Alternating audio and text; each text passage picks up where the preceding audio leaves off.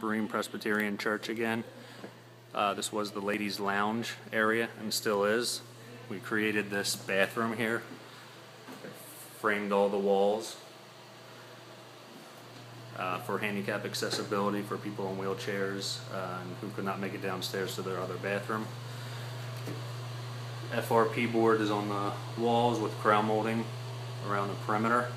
New drywall ceiling. ADA toilet with the proper grab bars. Dura ceramic floor holds up lifetime warranty. And a uh, handicap accessible sink. All new plumbing had to be ran. Uh, new door, new signs.